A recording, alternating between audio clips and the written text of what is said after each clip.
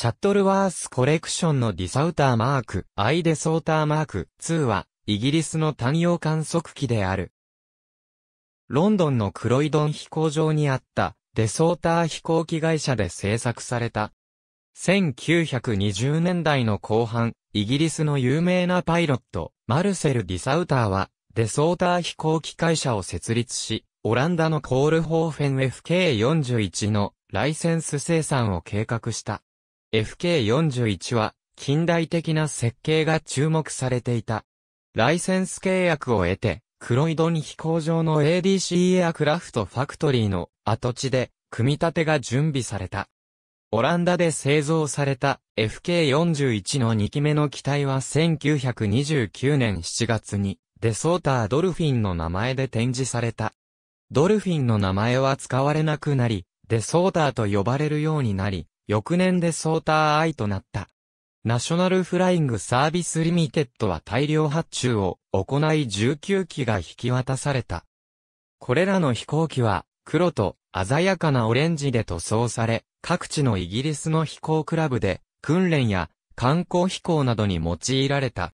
1930年にはニュージーランドから注文を受け、オーストラリアのシドニーまで飛行し、ニュージーランドまで船に運ばれた。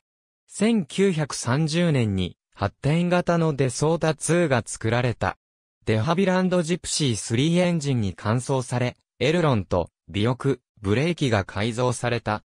28機のマーク、I と13機のマーク、2、合計41機がクロイドン飛行場で製造した。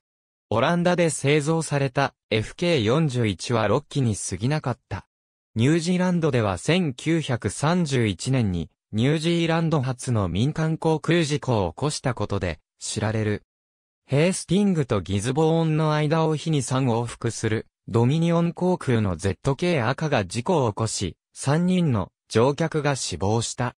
オーストリアではフリンダース島までの定期飛行に用いられ、その機体はクイーンビクトリア博物館に展示されている。その他の3機のマーク2がオーストラリアで用いられた。デンマーク航空協会が1931年にマーク2を購入し、1934年にこの機体は航空士官のマイケル・ハンセンに売却された。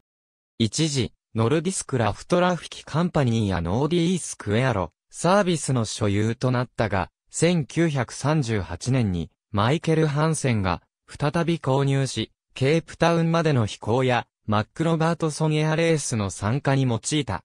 マックロバートソンエアレースでは、イギリスからメルボルンまでを129時間47分で飛行し、ハンディキャップ部門の7位の成績を収めた。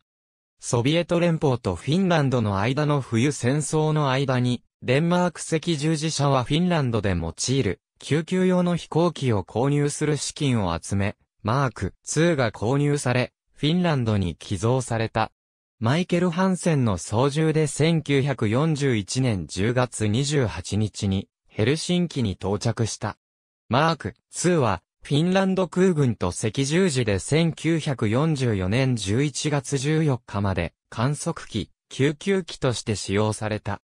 戦後は航空機製造のカーフ町兄弟に売却され、さらにトースティ・トールグラント、アーマスジラに売却され、補修され1947年にオーティアとして再登録されたが、12月4日、タンペレ近くで墜落した。